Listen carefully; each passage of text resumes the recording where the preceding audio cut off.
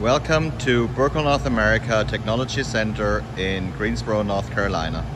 Today we are going to code a 60 gram per square meter paper with a clear lacquer. After the UV is fired up and the foot pedal is activated, the head of the roller coater is going down to the paper to coat the clear coat. After the coat is applied, we are going to cure it with a mercury UV lamp. In the end of the line there is a winding station to wind up the paper to a new roll.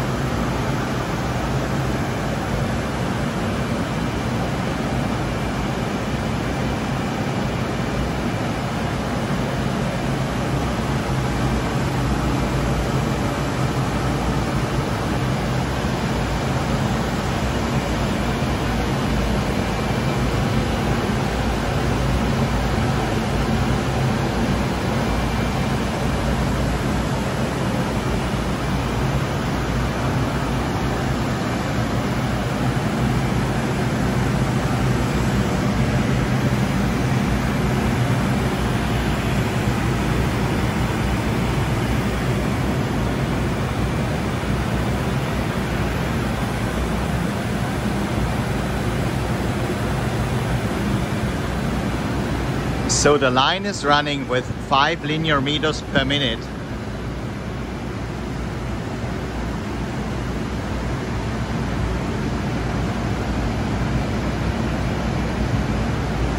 On the infeed side we control the tension with a mechanical brake. If we look on the outfeed side, the outfeed side is controlled with a servo drive with a special torque control to make sure that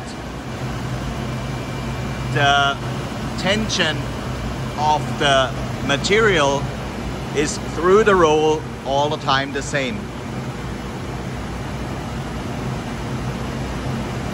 Thank you for watching our video from the LFC 1600 with the roll-to-roll -roll option. If you need any assistance, please contact us directly. Thank you very much.